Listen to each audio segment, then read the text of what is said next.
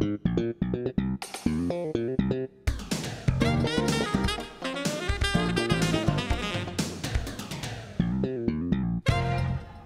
there, everyone. Grammy Lumpitt here for another exciting edition of Grammy Tales. Today, we're going to find out all about the new digs for the Historical Society here in Lakeville. So I'm supposed to go in there and meet their president, Diane Lamb.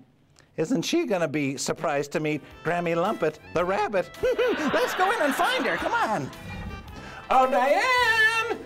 Diane, Madam President, where are you? Oh, oh, there you are. Hi, Diane. It's Grammy. Hi, Grammy. It's nice to meet you. Oh, nice to meet you too, dear. And oh, I just love the new Historical Society digs. Can you tell us a little bit about this room right here? Well, this is one of our display rooms, Grammy. Okay. And we have two display rooms. And this one has some things about Antlers Park and about Weichselbaum's Resort and some churches and a school.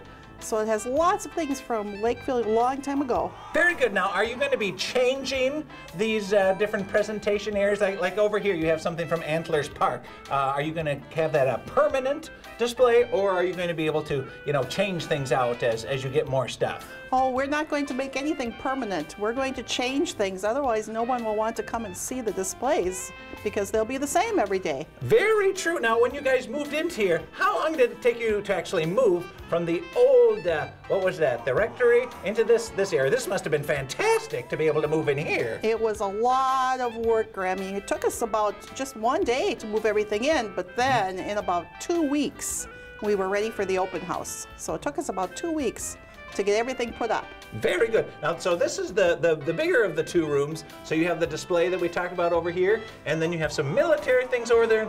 Oh, I see more things. Oh, back there. Could we go back there, Diane? We can. All right, let's head on up. Here we go.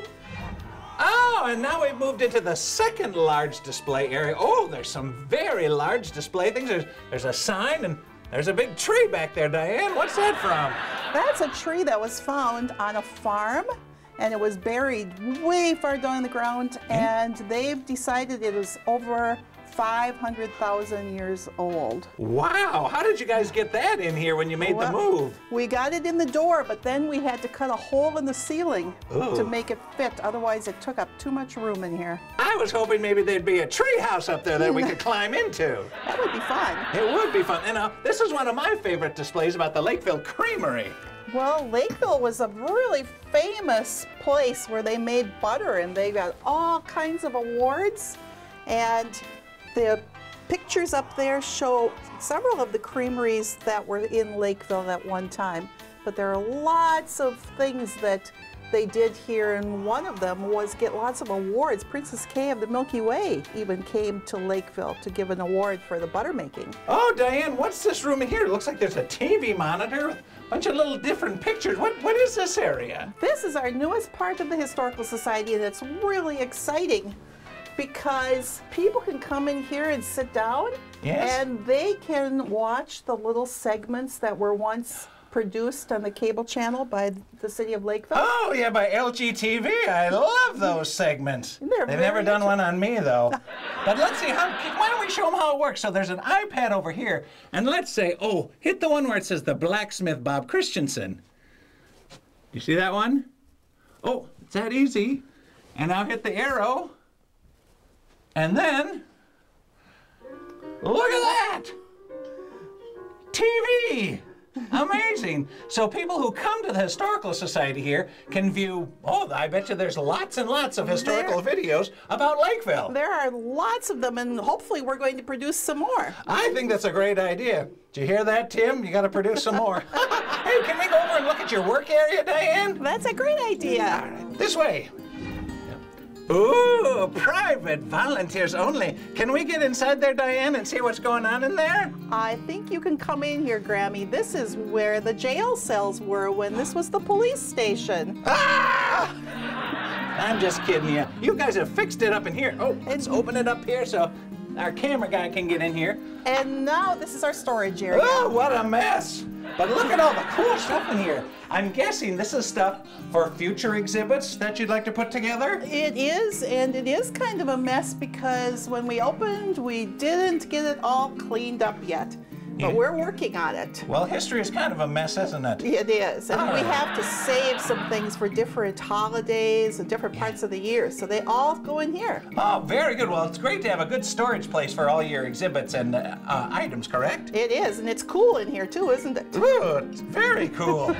we have now moved into the work area here at the Historical Society, and I see you've got some computers and uh, big files. What are in these filing cabinets, Diane? Well, remember, Grammy, I said people donate things to us? Yes. And this, these are all kinds of pictures and newspaper clippings, things that we use when we make displays. Oh, could we open up B and see what's in B? J- just, just see what's in there. We could.